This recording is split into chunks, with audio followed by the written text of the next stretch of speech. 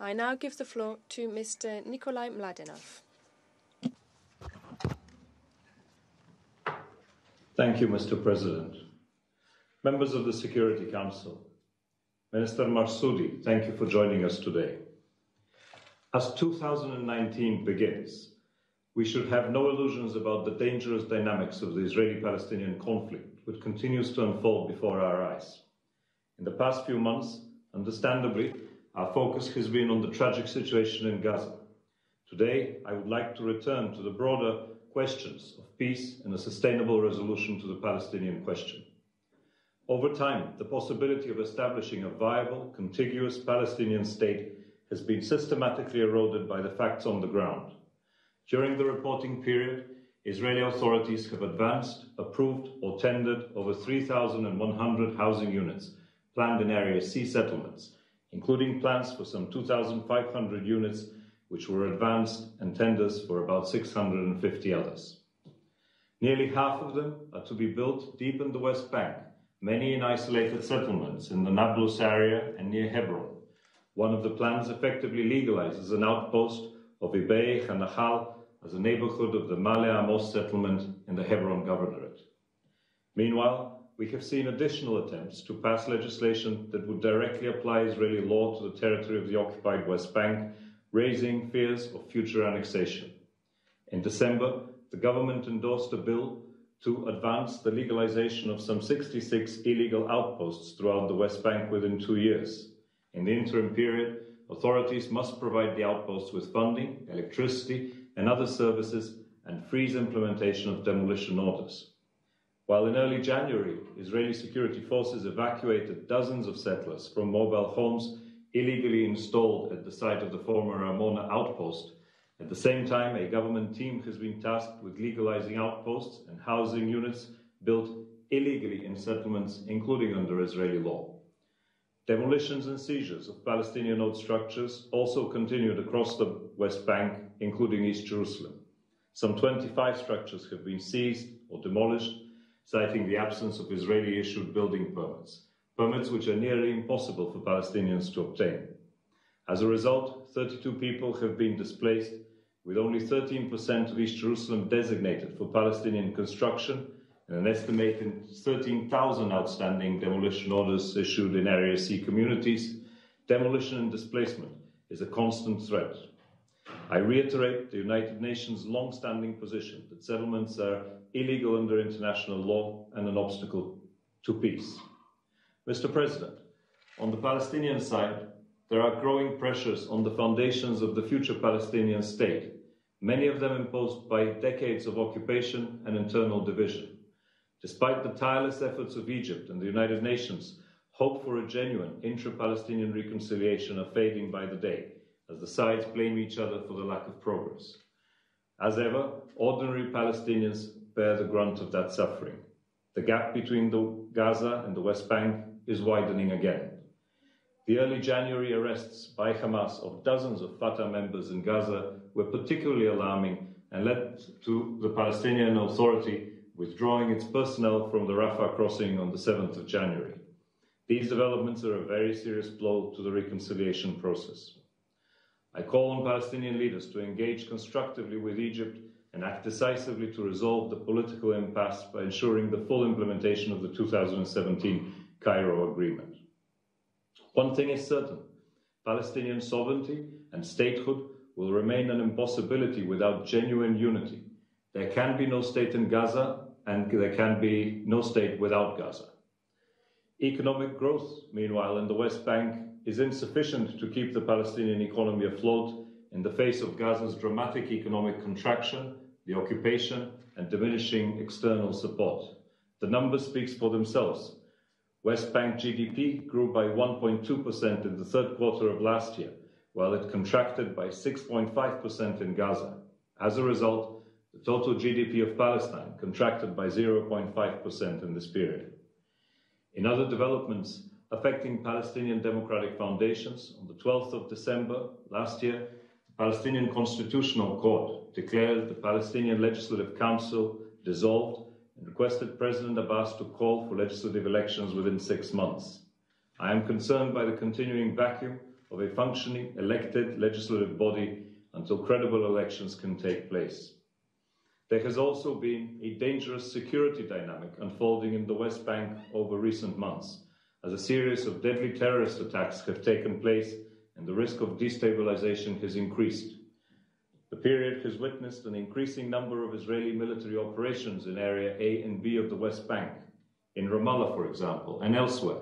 The almost daily confrontations with Israeli security forces fuel anger and have raised questions among Palestinians as to the viability and relevance of the structures created under the Oslo Accords. Such operations disrupt the lives of civilians, increase tensions, and undermining the Palestinian public's trust in their own security forces as well as the morality, morale of their personnel. Mr. President, it has been over 25 years since Oslo opened the pathway to peace. The core of those agreements were long before enshrined in a number of United Nations resolutions and bilateral agreements that remain valid to this day. They also define the final status issues that can only be resolved through negotiations between the parties with the goal of a two state outcome. Over time, these agreements, however, have eroded as the prospect for credible negotiations has dimmed, only to be replaced by the lack of hope and the growing risk of a one state reality of perpetual occupation as outlined in the Quartet report of 2016. If both sides were able to recommit, with the support of the international community, to the basic tenets enshrined in bilateral agreements and to the principle that core issues can only be agreed through negotiations between the parties. This should provide hope for the future and an impetus for peace and stability. A quarter of a century of investment in peace and state building must not be allowed to wither under the pressure of violence, radicalization, and suffering. The agreements and the principles that have been established over the last 25 years must be respected by all if peace is to have a chance. The Palestinian economy must be allowed to grow through expanding opportunities for free trade. Fiscal leakages must be fixed by modernizing existing arrangements. And the Palestinian government must be able to expand the services it provides to its people. Security coordination should also continue. These are just some examples of small steps that can be taken to strengthen the Palestinian institution building effort and must be supported by the international community including through the mechanisms of the Ad hoc Liaison Committee, the AHLC. These steps are not an alternative to the final status negotiations that can only be based on international law. They are not and cannot be an alternative to statehood. Engaging on them, however, should provide some of the much needed political and economic space that people need in order to regain their faith in a peaceful and just resolution of the conflict. For the international community, it is also important to know that both sides remain committed to existing bilateral agreements and arrangements. Mr. President, the challenging dynamics that are unfolding as violent incidents have continued in Gaza and the West Bank, including East Jerusalem. Eight Palestinians have been killed during the reporting period by the Israeli security forces, including during demonstrations, clashes, military operations, and other incidents. No Israelis were killed by Palestinians during this period. Protests at the Gaza perimeter fence continued during the past month with seven Palestinians killed by live Israeli fire. The launching of incendiary devices into Israel also resumed after a lull of several weeks, and two rockets were launched by militants towards Israel. I reiterate my call on Israel to use lethal force only as a last resort and in response to an imminent threat of death or serious injury. Hamas, meanwhile, in Gaza must also stop the indiscriminate launching of rockets and mortars and ensure that protests remain peaceful. Meanwhile, the upsurge in settler violence over the past year continues to be a serious concern. On Christmas Eve, the convoy of Prime, Palestinian Prime Minister Hamdallah was attacked with stones in the same location that a Palestinian woman, Aisha Rabi, was killed by Israeli storm throwers in October of last year.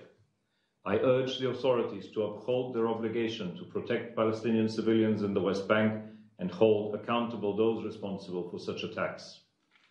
Mr. President, I would like to turn briefly to the ongoing humanitarian crisis in Gaza. While the current temporary boost in the electricity supply has led to a general improvement in living conditions, including a 40% reduction in the need for UN provided emergency fuel, the situation remains desperate. Recent funding cuts by donors have forced the World Food Programme to suspend food assistance to some 27,000 people and reduce rations to another 166,000 beneficiaries. At the September AHLC meeting last year, member states emphasized the need for increased efforts to revitalize Gaza's economy, including through cash for work programs. Implementation of the package of urgent interventions continues, and donors have committed some $90 million out of the 210 million US dollars that are needed for six months. Electricity supply to households has increased from 3 to 10 hours. Some 4,200 jobs have been created, and essential medicines have been delivered by the United Nations. I encourage donors to continue supporting our work, which is critical to avoiding another escalation. Notwithstanding the enormity of the political challenges, the United Nations is working with the Palestinian Authority and all relevant stakeholders to address some of Gaza's most pressing needs. The UN has also significantly enhanced its capacity to support project implementation on the ground. It is currently working with all key stakeholders to advance the package of socio-economic and humanitarian interventions and to monitor ongoing projects. I urge donors to support all of our efforts. I would also like to take a moment to reaffirm support for the critical work being done by UNRWA in Gaza, in the West Bank, including East Jerusalem, and across the region. I urge donors as well to continue their support for the essential services provided by the agency. Mr. President, turning to Lebanon, the country has been without a government for over eight months.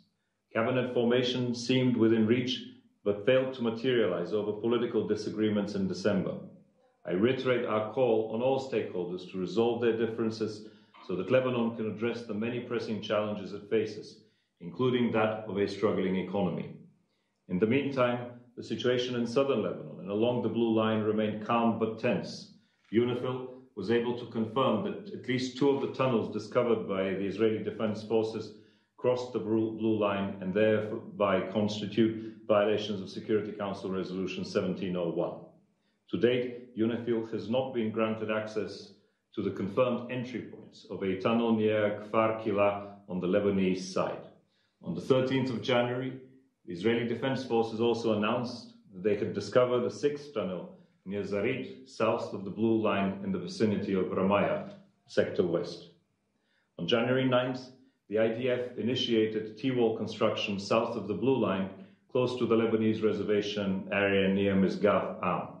The construction featured prominently in the tripartite meeting on January 10th and 17th of January.